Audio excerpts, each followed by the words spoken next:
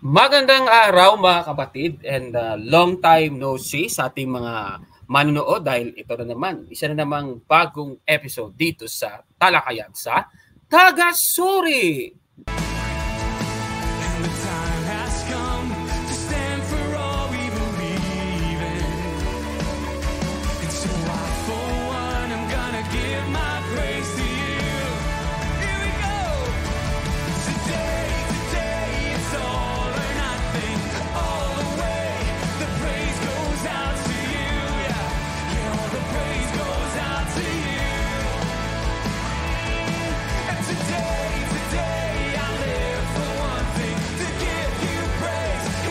Ako po si Kaburno at ako ang inyong taga-sorry. Sa puntong ito ng ating programa, kung hindi ka pa nakasubscribe, pakiclick po ng subscribe button at ang notification bell para updated po tayo sa ating mga susunod na videos. Kaya, let's go at simulan na natin. Uh, mga kapatid, magandang araw po at kapayapaan ay maghari sa ating isipan at sa ating puso.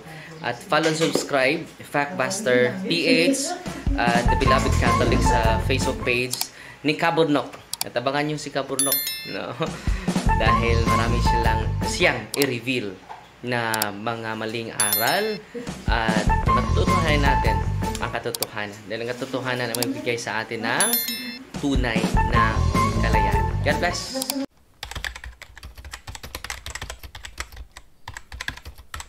At sa ating episode ngayon ay uh, meron tayong tatalakayin na medyo i-recall natin ng konti at meron tayong update tungkol sa kanya. At uh, para masamahan na tayo dahil isang taon na po ang ating programa ay makasama natin muli si kapatid na Gabriel de Guzman. Brother Gab, hello sa iyo bro. Hello po, magandang gabi po, magandang araw sa ating lahat mga kapatid. Ayan, kapayapaan po ng Diyos ang parating sa sumaatin. Okay, bago muna natin simulan ang ating episode ay uh, manalangin muna tayo. Sa pangalan ng Ama at ng Anak at ng Espiritu Santo. Amen. Sa ngalan ng Ama at ng Anak at ng Espiritu Santo. Amen. Amen. Ama namin, sumasalangit ka, sambahin ang ngalan mo, mapasa amin ang kaharian mo, sundin ang loob mo, dito sa lupa, para ng sa langit. Bigyan mo kami ngayon ng aming kakanin sa araw-araw at patawarin mo kami sa aming mga sala para ng pagpapatawad namin sa nagkakasala sa amin at huwag mo kami ipahintulot sa tukso at iadya mo kami sa lahat ng masama. Amen. Sa ngalan ng Ama at ng Anak at ng Espiritu Santo. Amen. Amen. Ayan, eto na kapatid na Gabriel, no?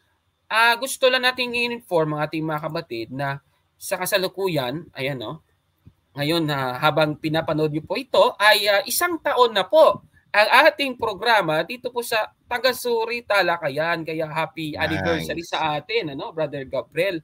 At uh, kung naalala mo, yung una nating episode, Grabe, ano? 40,000 views pala ito. Ang daming nanood. Ayan ha. Yung video natin kaya Apollo Kibuloy. Ayan. So, yung unang episode natin dito po sa Talakayan sa Tagasuri ay uh, August 15, 2023. At ngayon po ay August bilis 15, 2024. Grabe. Oo, ang, grabe ano? Ang bilis na. At uh, sa kasalukuyan, may mahigit 170 plus episodes na tayo dito sa ating uh, pagtalakay, Brother Gabriel. Kaya congratulations sa atin. Pero ano ba yung ating topic ngayon? Bago mo na yan, Brother Gabriel, ano? Ah, mag-promote ka muna, bro. Yes, ayan po.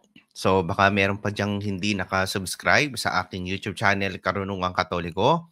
Pag sa Facebook naman po, Karunungang Katoliko TV. Ayan. Thank you so much po.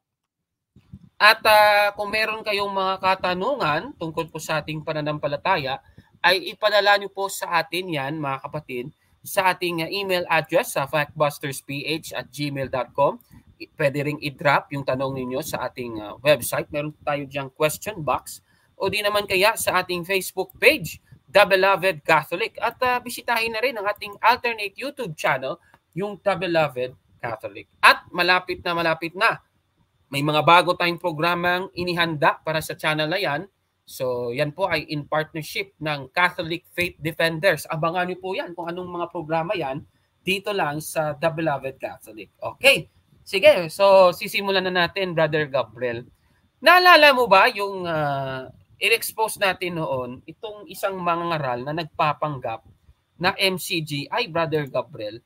Ito ha, panoorin oh. muna natin kung uh, ah, MCGI ba siya o hindi. Ito, panoorin natin ulit yun. Po ay member ng Iglesia ng Diyos na Buhay.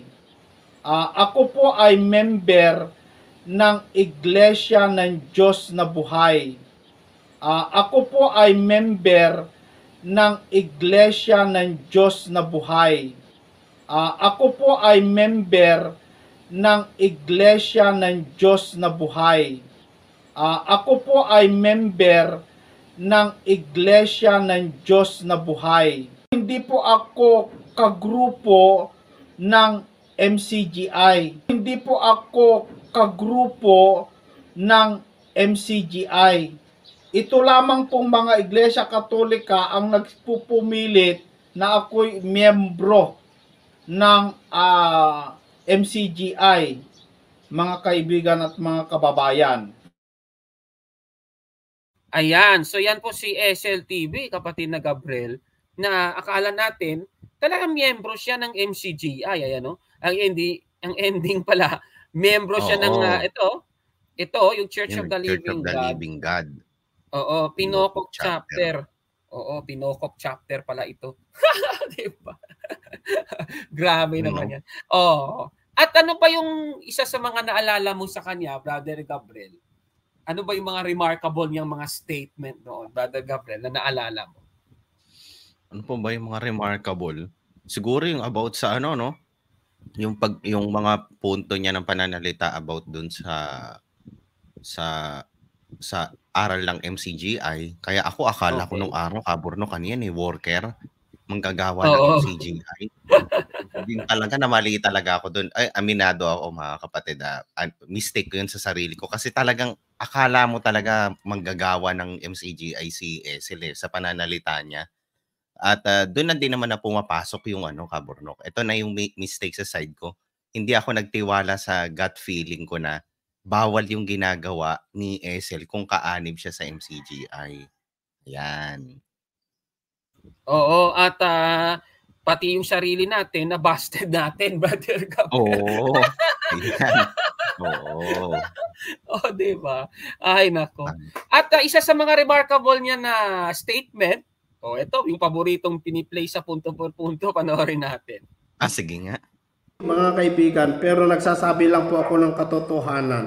Ako po ay isang mangmang na tao. Halatang inosente at wala talagang alam, ano?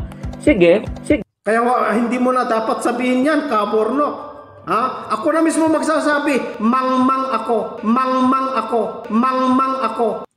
Ayan. So yan yung statement oh. niya noon, Brother Gabriel, di ba?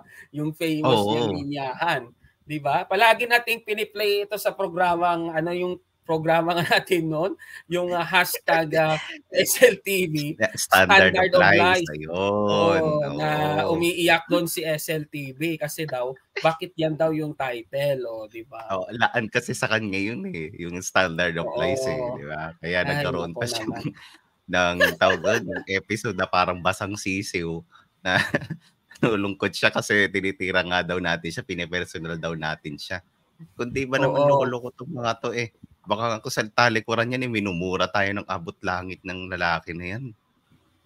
Oo. Pero yung masaklap doon, eh siya nga, ang daming ang uh, binitawang mga pamemersonal kay Kabor, no? O kagaya nito. Oo. Ano? Oh, o ayan, ito, ayan. panoorin natin ha. Ah, pag ayan po ang magagawa. Yan. Ah, pag binawalan mo kasi kasi lalaki ka eh.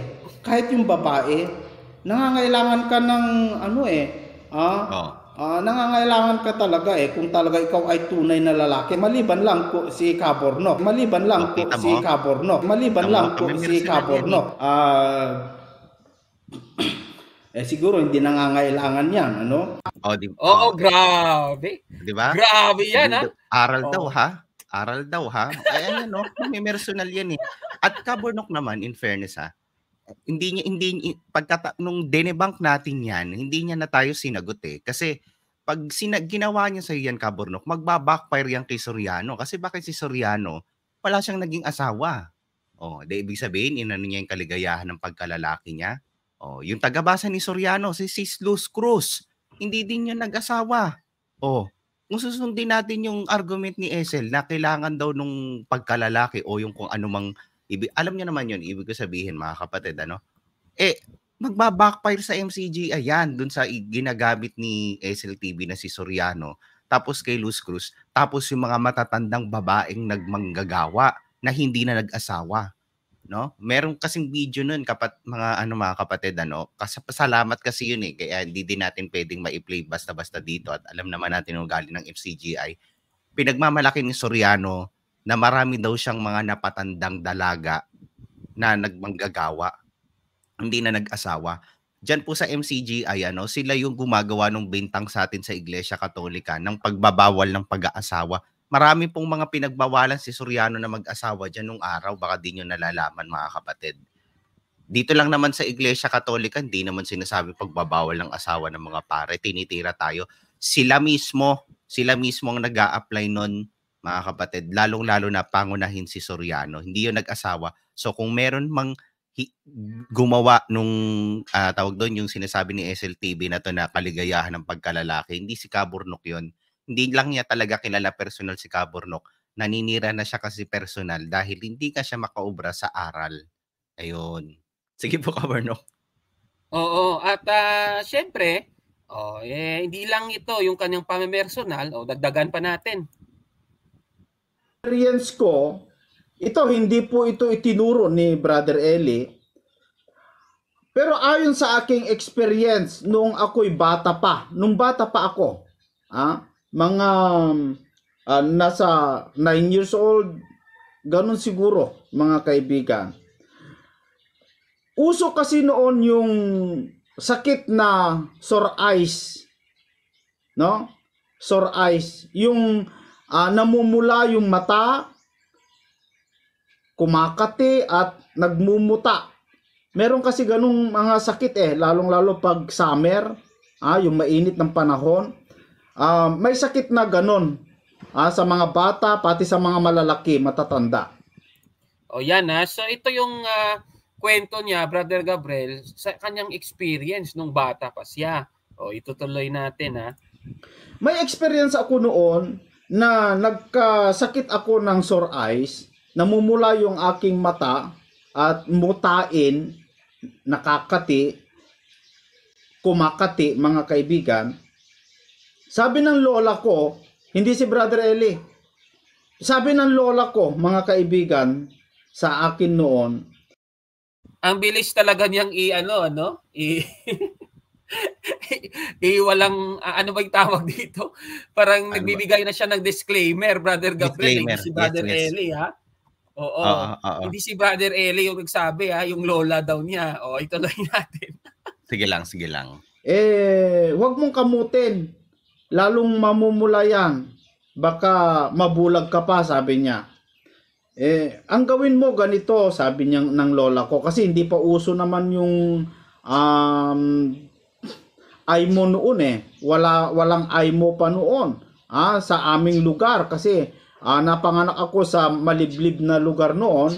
Eh, walang IMO-IMO noon. No? Sabi ng lola ko, pagising mo sa umaga, sabi niya, kunin mo yung ihi mo at yun ang gamitin mong paghilamos. Hugasan mo yung muta mo sa sarili mong ihi. Paghilamos mo yung sarili mong ihi. Yun ang sabi ng lola ko. Eh, ka, dahil ako naman ay bata, madaling maniwala, Ah, oo nga, bata ka pa nga eh, madali kang maniwala. Ngayon malaki ka na, madali ka pa rin maniwala sa kasinungalingan. At oh, ipinapangaral niya pa yung kasinungalingan, ha? hindi lang basta pinaniwala. Pinapangaral niya pa. Oo, yan ang masaklap to, no? Tuloy natin. Ah, sa sinasabi ng mga matatanda, ah, kung matanda sila, eh pinaniwalaan ko naman mga kaibigan. At Uh, paggising ko sa umaga, eh, kinuha ko yung ihi ko, tapos nilagay ko nilagay ko sa uh, isang tabo, and then ginawa ko, yun ang pinanghugas ko sa mata ko na may sore eyes. Alam nyo mga kaibigan, sa dalawang beses na ginawa ko yon dalawang beses eh, sa awa ng Diyos naging okay naman yung aking sore eyes grabe dalawang beses tapos naging okay daw yung kanyang sore eyes ito lang ha uh, disclaimer muna hindi po yan recommended ng mga doktor ha baka nanonood ngayon yung mga ano, hindi po natin nire-recommend yung kanyang nire-recommend, Brother Gabriel. yes, yes. Yes, totoo yan, totoo yan mga kapatid. Ano? Kahit, kahit po dito sa amin, ako eh, kahit nga yung lola ko nun, sa both mother and father side, walang gumawa ng ganyan nung gumawa ng ganyan kapag may sore eyes. Kasi, a- a- awa naman ng Diyos, siguro tayo may, kalap, may karapat na mag, mag gumamit ng term na yun. Awa ng Diyos, alam namin kasi noon pa man na yung yung ihi po natin mga kapatid, ano, yung ano natin, i-waste po ng katawan yan. Napakadami pong dumi yung nakapaloob doon. So, kung ilalagay mo yon sa ano sa mata mo, naku po mga kapatid, baka ma-infection ka pa kung may ano yung mata mo eh. Kaya tama naman, tama lang din gamitin ni SLTV. Gumaling siya hindi dahil sa ihi niya, gumaling siya dahil sa awa ng Diyos. Yun ang katotohanan doon mga kapatid. Huwag niyo pong gagayahin ha. Huwag niyo pong gagayahin. Naawa lang ang Diyos dyan si KSL dahil mangmang siya. Hoy, tuloy na natin. Sabi ko, eh, parang totoo yata, Lola, na nakakagamot yung sariling ihi. Ayon sa aking experience, mga kaibigan, ano? Kung gusto ni Kabornok uh, patunayan, Oh, yan ha. Oh, yan ha. Isiningit na naman yan yung ating pangalan ha. Ayan na yung pamimersonal Oo, niya. kasi nga, oh, ina, kasi Kaburnok, nung kasagsagan yan, di ba, lagi natin siyang, alam ko, kasagsagan pa ng standard of lies yan eh, di ba? Nung standard of lies oh. series natin, nung nilabas niya yan. Kaya, laging kayo ang bukang bibig. Oo, tuloy na nga natin. Is, subukan mo, Kaburnok. Ah, kasi sinubukan ko na yan. Yung pinaghilamos ko yung sariling ihi nung mayroon akong sore eyes, eh sa awa ng Diyos gumaling. Ayun! Yan. diba? Oo, so tawa-tawa pa siya dyan habang nami-personal kay Kaburnok, di ba? O, di ba? So, yan, yan ang kanyang mga sinasabi. Ngayon, Brother Gabriela, uh, naalala ko, meron siyang sagot eh, kasi eh, sinabi natin, eh bakit yan ang kanyang mga pahayag? Tapos nabe-personal pa kay Cabor, no? Meron siyang sagot dyan, naalala ko, Brother Gabriel eh. O, ito panoorin natin. Ano, si Kabornok mm, mga kaibigan. Yung sinabi kong pag pinaghilamos ko yung ihi, eh ang sinasabi nila, tingnan mo ah, ang pandaraya ng mga taga punto por punto. Ang sinasabi nila, itinuturo ko daw at hinahanap sa akin ang talata. Eh hindi ko naman sinabi, nasa Biblia yan. At hindi yan doktrina, mga kaibigan. At hindi ko yan itinuturo. Sinasabi ko lang yung na-experience ko sa aking mata. Oo, oh, hindi daw niya oh. tinuturo. Eh bakit mo ako sinabihan? Dahil ititestingin ko daw. O di ba, di pagtuturo nga yan, di ba ganun yon ito talaga. Hindi, hindi ka nagbibigay siya ng exact instruction eh. 'Di ba? Yung ihing daw niya nung pagkagising daw niya o nasa 'di ba pinangilamos daw niya, binibigay niya yung exact instruction eh. So kahit na sabihin mo na hindi siya nagtuturo na according sa Bible, nagtuturo pa rin siya diyan. Kahit na sabihin natin hindi doktrina ng Kristiyano, doktrina pa rin niya yan as personal na hygiene niya. Ganun ang punto nun eh. Kaya kahit hindi niya pwedeng takasan tayo sa argument na hindi siya nagtuturo. At hindi tayo ng daraya dito. Kung meron man ng daraya, mga kapatid kong katoliko, kung meron man ng daraya, yang si SLTV kasama yung MCGI. ba? For example, ganito. Naalala niyo mga kapatid yung ano, yung patungkol sa limbo? Oh. Tayo mga kapatid, mga kapatid kong katoliko, malinaw sa atin 'yan. Hindi 'yon naging doktrina, hindi 'yon naging hindi 'yon naging dogma ng ating simbahan, hindi nag-elevate 'yon bilang aral ng simbahang katolika Pero anong anong laging kiniklaim ng mga mandaraya na tong mga to? Kagaya ng mga MCGI tsaka tong si SL, ano? Ano sinasabi nila? Aral daw ng Iglesia Katolika 'yun.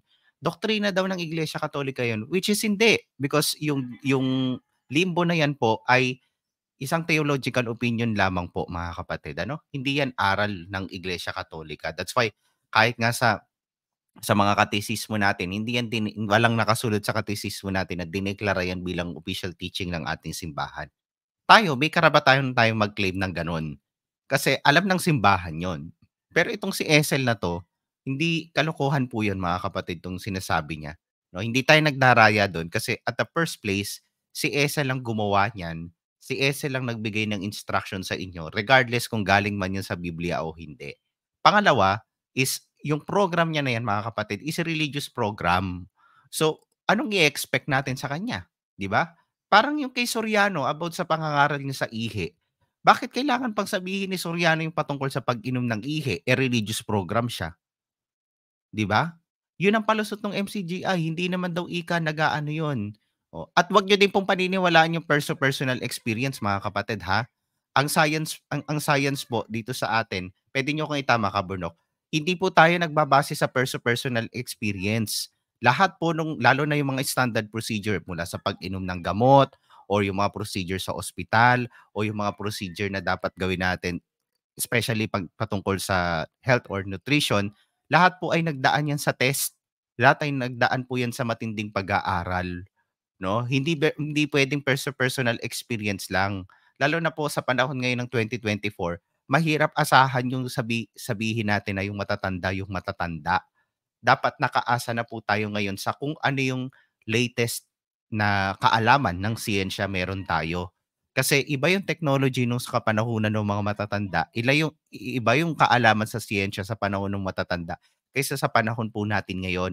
Kaya kung mapapansin nyo po, lalo na pagdating sa gamot, hindi nila pinapairal yung perso-personal experience mga kapatid. Ang pinapairal nila doon, yung gamot na yan bago naging gamot is nagdaan sa madaming test, nagdaan sa madaming uh, pag-aaral, research para maging yung gamot na yun ay para sa atin, para magamit in general purposes. Hindi yung dahil sa personal experience lang. Mahirap asahan din po yung personal experience. Kahit po sa paggawa po ng mga hypothesis, paggawa ng mga research paper, hindi mo maituturing na na fact agad yung personal ng experience ng isang tao. Kahit po sa religion, mga kapatid, kasi kung aasahan lang natin yung personal experience lang ng isang tao, di paniwalaan natin si Kibuloy, ang dami naging experience nun eh. Siya pa lang yun, na mga kapatid ah. di ba? Kaya ka meron tayong mga bakang aral na nangangaral sa atin kasi sila talaga yung dalubhasa na nag-aral yung mga aral na dapat nating matutunan. Hindi galing sa kung sino-sinong tao lang, mga kapatid. So, yun lamang po. Ayan. So, yan yung sagot ni SLTV na ang ending parang nako, weirdo talaga. weirdo talaga Uh-oh. yung mga pinagsasasabi ano. Tapos kung mga Uh-oh. queeran, eh kokontrahin yung kanyang mga naging uh, gawain ano. Biruin mo, sabi niya di daw siya nagtuturo. Ang ending, bakit niya ako sinabihan Brother Gabriel na gawin niya pa yun, gawin mo pa yun, ano? Oh, gawin gawin mo nga yan, kabor no, para mapatunayan mong tama ako. Parang ganoon ba yung lumalabas? Eh di talagang uh, you are persuading us na gawin yon. Tinuturo mo nga sa amin. Kaya nga nagpo-persuade ka sa amin eh. Di ba ganun yun, Brother Gabriel? Ito talaga? Yes, yes. Ay, yes. O ngayon, ito na, Brother Gabriel. Eh, bakit natin na-open up itong tungkol kay SLTV? Yan ha, ilan lang ito sa mga weirdo niyang mga pinagsasasabi noon, Brother Gabriel ha, na pamemersonal na ano kay Kaburdo. Kasi nga, hindi niya kaya yung aral na dala ng Iglesia Katolika. Yung totoong aral. Hindi yung chismis, mm. no? Kagaya ng kanyang sinasabi. Mm-mm. Chismoso kasi yan eh. o, diba? O, ngayon, o, ito, Brother Gabriela. Meron tayong nasagap na balita, Brother Gabriel. O, ito ah. Oh. Eh, al- alam ba ninyo, ito ah, ipakita ko lang sa inyo, mga kapatid. As of today, ano, na napapanood nyo ito, uh, ipakita lang natin uh, ito i-share screen ko muna, itong channel ni SLTV. Ayan, nakikita mo na, Brother Gabriel, sa screen. Ayan, uh, as of today. Yes, yes. Yes. Mga ilan yan? 98. 98.4 subscribers. Ayan, no? 98.4. So, lakihin natin para... Ayan, no? Ayan, nakita niyo na. Ayan, no? 98,400. Ako, malapit na pala siyang mag, ano, mag uh, 100,000. Malapit na lang pala niya makuha yung ano, Brother Gabriel, yung uh, silver play button, ano? Oh, ngayon, meron siyang malaking problema. eh parang ayaw ng YouTube na ipapatungtong siya sa 100,000 subscribers. Alam mo ba, Brother Gabriel, kung bakit? Bakit po? Oh, ito. Pakita natin ha. Oh, ito, ito, ito. I-stop share ko muna. Ayan ha. Ipakita natin ito. Ayan. Lakin ito ha, post niya ito noong August 9. Uh, ito ipakita natin Yan, sa screen. lang. Oo. Ito basahin mo nga ito kapatid na Gabriel. Oh, ang sabi po niya dito, ayan, nagbigay naglagay muna siya ng link. Oh, sa lahat ng taga-subaybay ng SLTV, gusto ko lang ipaalam na ang SLTV channel po ay mabubura po 6 days mula ngayon kasi na-strike po tayo. Ang SLTV po, isa sa nagtatanggol ng ng Biblia na pinapangaral ng kapatid na Eli. Kaya sana po ay ipaabot ang mensaheng ito sa MCGA Production kasi silang sila ang maaaring pwedeng makatulong para ma-recover ko pa ang aking account ko dahil parang ano, ano tawag doon? Nanggagaslight pa ba to? Kaya sana Hindi, matulungan Brother. Gabriel. Oh. Brother Gabriel, alam mo Yes, ba yung yes, tawag Brother. dyan? Yung tawag Ano po? dyan, ano siya feeling entitled. Yun. Entitled, oo, oo. Oh, feeling niya Ayan, ayan. entitled siya. Kaya ganun. Oh, tuloy natin. Okay, okay, okay. Ah, sige, tulungan ko. Eh, tulungan. Tuloy ko pa ibasa. Kaya sana matulungan niyo ako. Maaari po akong makita sa Kaanyo TV, pindutin ang link. Ah, ayan. So, nakikiusap siya ngayon sa kanyang mga followers, ano? Oo. So, ibig sabihin, malapit. Ewan ko ba, no, as of recording, kasi as of recording, ngayong araw na ito, habang nagsushoot tayo, Brother Gabriel, eh, hindi pa burado ito eh. So, Hindi tingnan pa. natin, ano? Oo, Four- tingnan four natin days kung... ah, Four days to go. Oo. So, tingnan natin, kapatid. Days to go. Ayan ah. Oh, yan. So ngayon, ah, mula dito sa kanyang post, Brother Gabriel, eh syempre, may mga nakikisimpatya o meron ding natatawa. O ito ah. O yan ah, basahin mo nga itong mga comment. Ah, ayan, sabi, bakit mawawala na yung SLTV? O, so, nag, ano, nag-comment siya, no? Yung kaani po na yan, siya din po yan. Iba niya pang YouTube channel yan. Opo, na in-strike po ako ng MCGA Production, seven days na lang, bububura na po. Salamat at andito ka rin. Okay, nakita ko kasi yung reply mo doon. Ayan, sabi ni Marvelous Foe. Ayan. Ah. So ibig sabihin, Brother Gabriel, eh mabubura na pala yung channel niya. Ay nako naman. Siguro Oh, Brother. Gabriel, Hmm. alam mo ba yung mga kanta sa ano, yung sa libingan, yung may ano ba yung mga habang naglilibing ka ng yumao, ano ba yung mga kanta ba na yun? sa Di kita, maka, di kita malilimutan. Tama ba yun? Yun ba yun? Oo, alam ko yun yun. eh. Hindi. Oo, yan siguro ikakanta natin kay SLTV, ano? Hindi kita malilimutan. Di ba? Kawawa naman. Any- Oo, ngayon anyway, ito- anyway Ah, sige, sige. no, habang, habang inaayos mo yan, i-inform lang natin yung mga kapatid natin katoliko, no? Ah, para sa kaalaman po kasi ng lahat, mga kapatid, ah, ang MCGI po talaga is hindi sila nagpapahintulo talaga na magkaroon ng unofficial YouTube channel or Facebook page or anything na unofficial bukod sa kanila talaga, mga kapatid. Kaya nga, 'di ba, nung nung mga panahon na hindi pa namin alam ni ni Kaburnok na itong si SLTV is ah, hindi pala MCGI member, ano yung lagi kong bukang bibig? Bawal yung ginagawa ni SLTV na ito, mga kapatid. Bawal yan. Kasi, ang gusto ng MCGI is naka-focus ka lang dapat sa mga official YouTube channel, Facebook pages, anything na official ng MCGI. Huwag na huwag kang gagawa ng anything na unofficial. Kasi ang lalabas, parang kinakalaban mo yung pangangasiwa. Ganun yung purpose po nun, mga kapatid. Kaya yan yung lagi kong atake dito kay SLTV. Na hindi masagot-sagot ni SLTV. Ngayon, nung nalaman namin ni Kabornok na ito palang si SLTV, eh hindi pala MCGI, kaya pala ang lakas ng loob mag-re-upload ng mag-re-upload or gumawa ng mga reaction video ni Soriano. Etong si SL is hindi pala siya member ng ng MCGI. Gayon pa man mga kapatid, ang MCGI po ay walang sinasanto. wala pong sinasanto yan. So kung yung hindi nga nila kaanib, mga kapatid, is sinashutdown nila, ini-strike, ini-strike nila. What I mean baliktad, kung yung mga kaanib mismo nila, member na po ng simbahan nila, member na po ng sekta nila o ng kulto nila, ini-strike nila kapag may unofficial.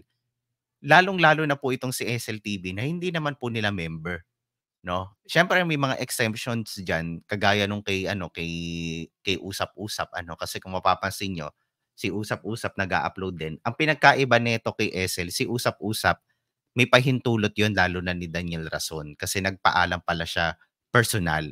Eh ito kumukuha lang to ng simpatya ng tao mga kapatid. At ako based on my analysis as a former MCGI malaki ang chance ang hindi to mapahintulutan talaga. Hindi to mapahintulutan. Kasi kung kung pahihintulutan si SLTV, ang ang magiging double standard kasi ang MCG ay lalabas niyan, mga kapatid. Lalo na kung halimbawa member to si, si SLTV ng MCGI. Kasi bakit ito si SL pinahintulutan, bakit yung iba hindi? Or or bakit ito si SL pinahintulutan nyo na mag-upload ng mga video, bakit yung ibang mga tao di, hindi nyo pinahihintulutan, ano? wag nating isama dito si usap-usap kasi special case yung kay usap-usap. So yun yung gusto kong ipunto sa inyo mga kapatid. Bakit etong si SLTV eh ini-strike ng MCGI regardless dun sa kanya mga palusot. Kabernok yung kaninang sa mga picture niya na nagtatanggol daw ng Biblia, pinampoporon si Soriano. Alam po ng MCGI yung pakay niya, mga kapatid. Alam po ng MCGI yung pakay niya. Kaya po, mas mainam pa rin po na ano, na sa akin ha, ah, kung ako ang tatanungin, eh, makatwiran po na i-strike yung kanyang channel, hindi po dahil sa katoliko ako, kundi dahil yun talaga yung goal ng MCGI. Ayun, yun po mga kapatid. Oo, correct yan kapatid na Gabriel. Ngayon, itutuloy natin yung, uh, ito, meron pang nag-comment dito. Sige lang, sige sa lang. post niya na yan, natin. ipakita natin ha. Uh, sige, basahin mo nga itong pag-iyak ni SLTV.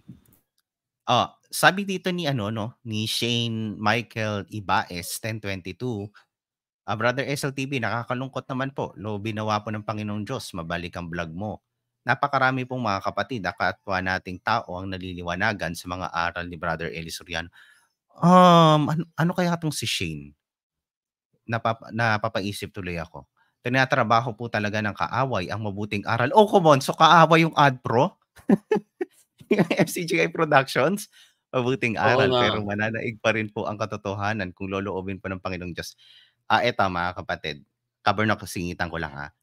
Ipagpa, ipagpalagay ko itong si Shane Michaels, ipagpapalagay ko lang kasi hindi ko to kilala.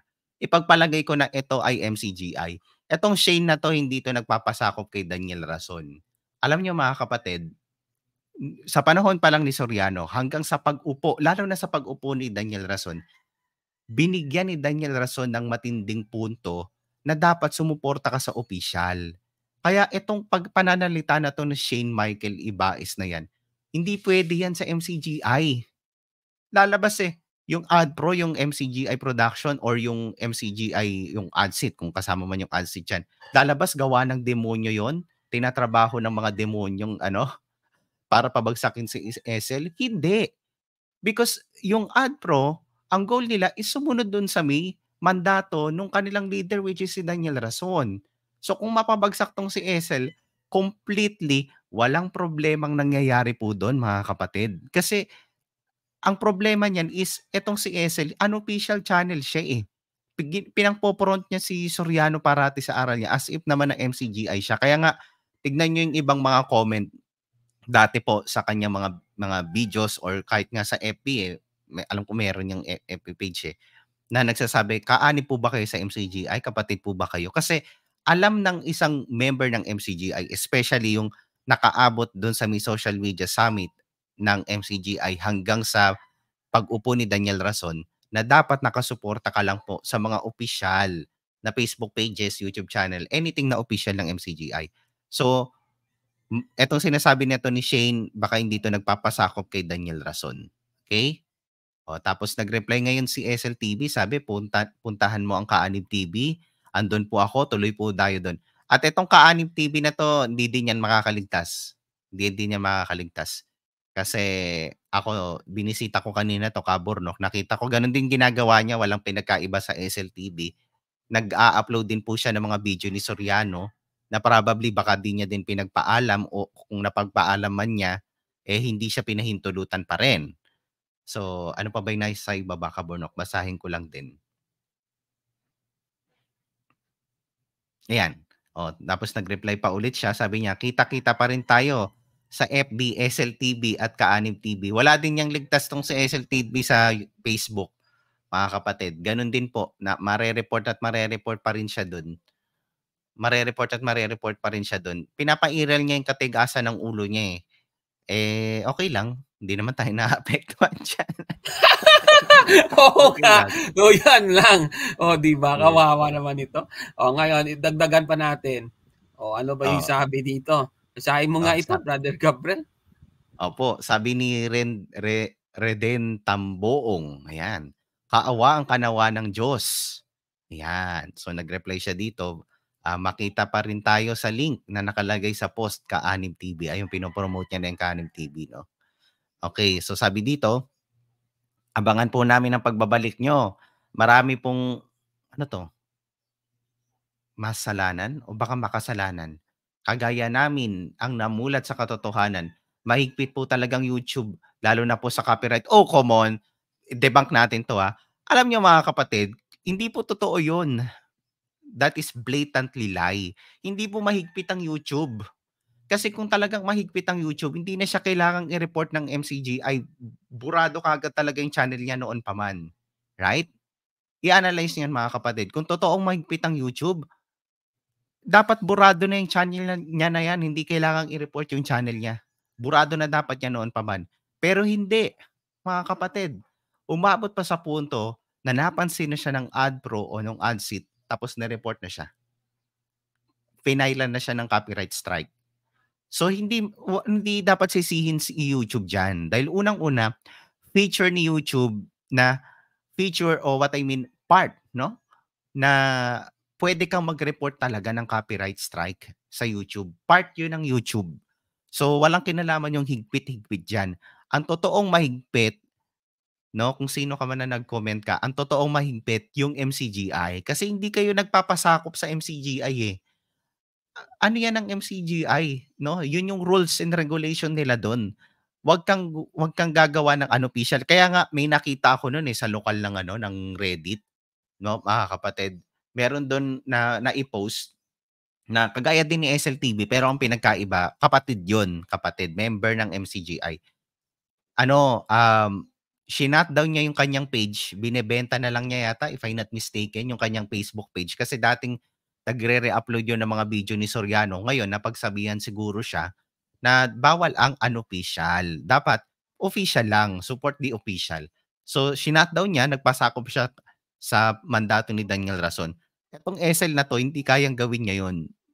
The mere fact na gumagawa ulit siya ng, ng, ng ibang paraan para ma-shutdown man itong, Facebook, itong YouTube channel niya, pwede siya mag-upload sa Facebook, pwede siya mag-upload sa another YouTube channel pa rin niya. So anong anong umiiral dito? Ito yung katigasan ng ulo niya. Ayaw niya talaga magpasakop sa kagustuhan ng MCGI. Pinangpopront niya si Soriano kasi si Soriano naman talaga ang main na dahilan bakit napapanood yung video niya. eh. Oo, at ah, itong si SLTV, talagang hahanap ng paraan para gamitin si Soriano, 'di ba? Kaya nga natural natural na manggagabit 'yan eh. Pasensya na sa word, pero 'yun naman talagang totoo diyan eh, Brother Gabriel, 'di ba? Oo. Oo, kaya nga hindi niya tayo sinasagot doon sa may argument natin na bakit di siya magpasakop sa mandato ng ay- MCGI eh. Ayaw nga ng MCGI ng unofficial eh. O, wag nating isama dito si U2. Si U2, si Usap-Usap, ibang cases yon special cases yon At hindi special si SL para sa punto na yan. Wag niyang isama yung sarili niya. o, 'di ba? Walang ka-special special naninira pa 'yan sa Oo. Iglesia Catholic. So sa tingin mo ba, Brother Gabriel, itong nangyari ito kay SLTV eh talagang ano ba dahil ito siguro sa kanyang ah, ano, ano ba tawag dito? Epekto ito ng ano eh. Epekto ito ng ano ng kanyang ah, pagkakamali, 'di ba? So actually, Oo. ah, hindi na tayo ano, hindi na tayo na naninibago pa. Hindi na tayo nagtataka. Yes, yes, yes. Oh. Yes, yes, Oo. yes. Kasi nga, eh, alam na natin from the very beginning na hahantong talaga sa pagkasara ng channel niya itong ginagawa ni SLTV. Pandaraya yan ha, itong ginagawa niya. Nandadaya siya sa kanyang mga manonood, di ba? So, hmm. talagang grabe. Ayan. So, yan po ang ating episode ngayon. Maraming salamat, Brother Gabriel, sa pagsama mo sa atin sa ating episode ngayon at babalitaan ko po kayo kung ano na ba yung nangyari sa kanyang channel. At maraming salamat, ha, Brother Gabriel, sa Yes, Pagsama yes. mo sa atin, ano? Mula pa noong uh, nakaraang taon, isang taon na pala ang ating programa dito sa Tagasuri. Oo, ayan. ayan ha? Thank you. So, maraming salamat ha? at uh, patuloy pong suportahan ng ating YouTube channel dito sa Factbusters PH at sa Karunungan Katoliko TV ni Brother Gabriel de Guzman. Ayan. Ayan. So ano po ang uh, masasabi ninyo sa ating episode ngayon? Paki-comment po sa baba mga kapatid. At kung like mo ang video na ito, paki-smash ng like button at mag-subscribe sa ating YouTube channel, Factbusters PH kaya. Huwag maniwala, sabi-sabi. I-check mo na kung fact nga talaga. Hanggang sa susunod na episode, kasama si kapatid na Gabriel de Guzman, ako po si Cabon. At kami ang inyong Tagasuri! Tagasuri! At uh, Brother Gabriel, bago hmm. natin uh, tuluyang ibitawan ang programang ito ay uh, alam ko na kung bakit uh, hanggang ngayon eh, matigas yung ulo niya no dapat uh, hindi na niya gagamitin si Soriano pero talagang nangingibabaw ang ano panoorin niya natin kung ano yung nangingibabaw mga kaibigan pero nagsasabi lang po ako ng katotohanan ako po ay isang mangmang na tao halatang inosente at wala talagang alam ano Sige, sige. Kaya hindi mo na dapat sabihin yan, kabornok. Ha? Ako na mismo magsasabi, mangmang ako, mangmang ako, mangmang ako. Ayun! Yan pala yung naging baba, Brother Gabriel. oh, understandable oh. na from the very beginning. Ayun. Oh, sige na. Bye po mga kapatid. At happy first year anniversary sa ating program. Thank you so Bye much po. mga kapatid. Maraming salamat. I'm gonna give my praise to you.